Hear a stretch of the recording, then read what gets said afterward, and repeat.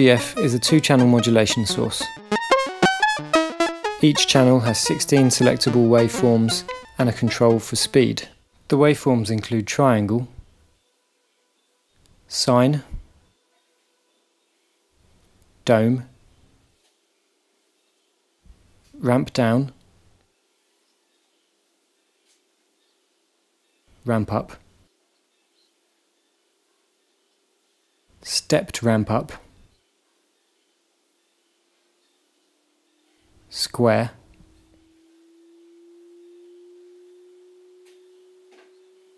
short impulse square, short impulse triangle, stepped square ramp down,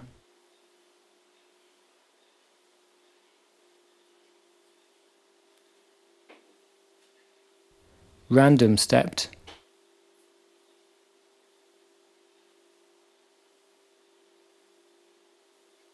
growing random ramp up or staircase.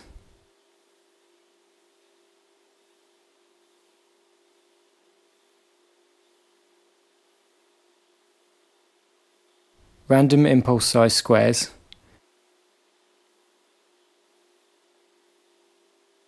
Random impulse size triangles.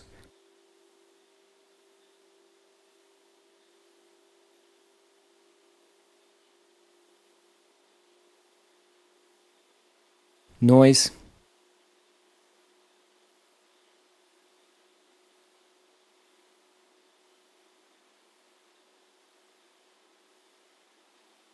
and finally pitched noise. A modification to the latest release of the Zone BF can be found on the back of the PCB. A jumper for each channel, one on the top and two on the bottom, can be displaced or removed to switch the sync in input to CV in input to control the speed. Putting the jumpers back in place, we are now back in sync mode. The alignment of the ribbon cable is red striped down as marked on the PCB.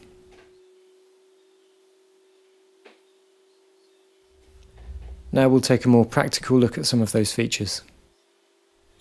This patch shows you how the sync function works. I'm patching the output of one channel of the Zone BF to the frequency modulation of the domino.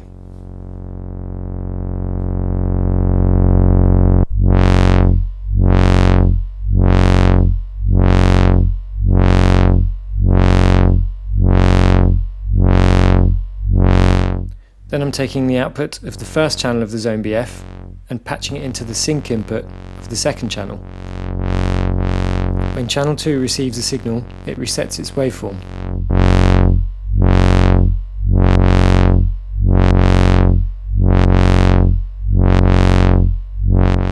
Adjusting the speed of channel 1 changes when the reset happens. For this patch I'll be using poles a useful attenuverter. With no connected input, the poles acts as a fixed voltage source.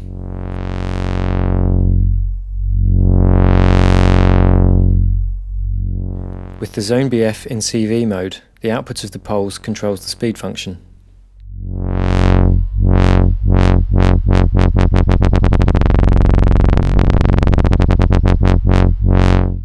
Patching in another channel from the Zone BF automates this process.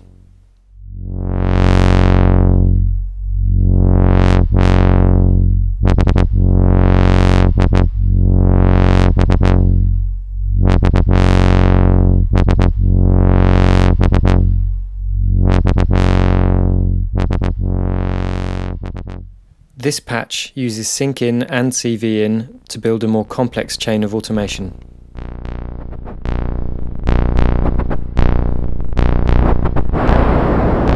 Here I'm also using the Zone BF as an audio source via the noise waveform.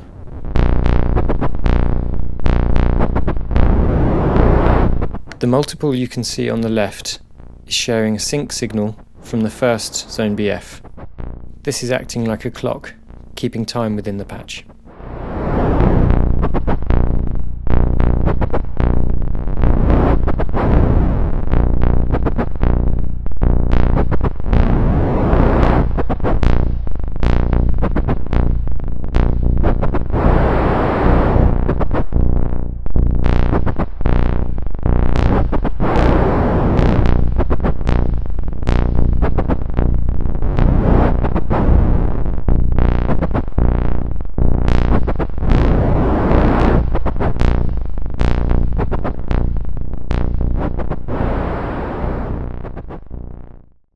Patched to the CV input of the domino, the Zone BF is generating a random melody.